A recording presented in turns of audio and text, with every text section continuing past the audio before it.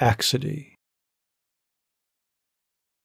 We may be somewhat surprised when we discover how precisely Pascal or Shakespeare or Montaigne can put his finger on our weak point, or tell us the truth about some moral lameness or disorder of which we, perhaps, were beginning to accept a more lenient and comfortable diagnosis. But when a poet, controversialist, and preacher of the Eastern Church, under the dominion of the Saracens, or an anchoret of Egypt, an abbot of Gaul in the sixth century, tells us, in the midst of our letters and railway journeys and magazines and movements, exactly what it is that on some days makes us so singularly unpleasant to ourselves and to others,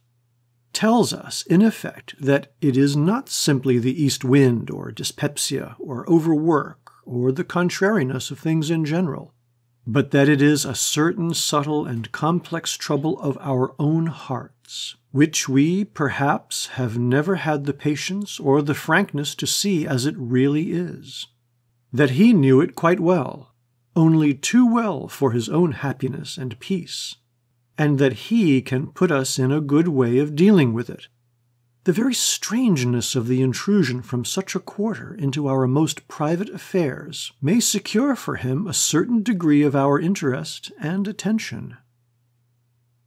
The Spirit of Discipline, Bishop Paget.